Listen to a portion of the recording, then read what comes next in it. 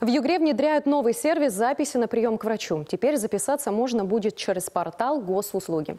Так югорчанам станет проще взять талон на себя или ребенка конкретному специалисту, а также выбрать подходящую медицинскую организацию. Позже в сервис добавят запись к узким специалистам по направлению участкового врача. Кроме того, расписание на получение талонов будет отображаться на две недели вперед. Отмечу, что сейчас идет тестовое внедрение нового сервиса. Группа разработчиков будет анализировать, как система функционирует и какие ошибки предстоит исправить в будущем.